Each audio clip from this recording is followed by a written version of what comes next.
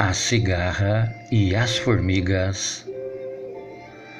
Num belo dia de inverno, as formigas estavam tendo o maior trabalho para secar as suas reservas de comida.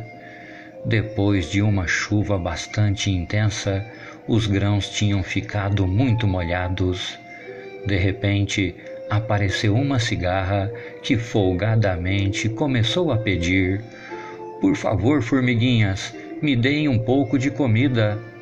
As formiguinhas pararam de trabalhar, coisa que era totalmente contra os seus princípios, mas dando uma pequena pausa, perguntaram: Mas por quê?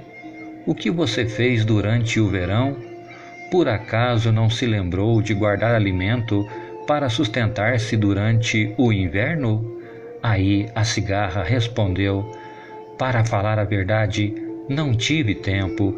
Passei o verão inteirinho cantando. Então as formigas divertidamente responderam: Bom, se você passou o verão todo cantando, que tal passar o inverno todo dançando? E assim voltaram para o trabalho dando altas gargalhadas. É isso aí, meus amigos. Quem planta, colhe, porém, quem não planta, aí não tem como, né?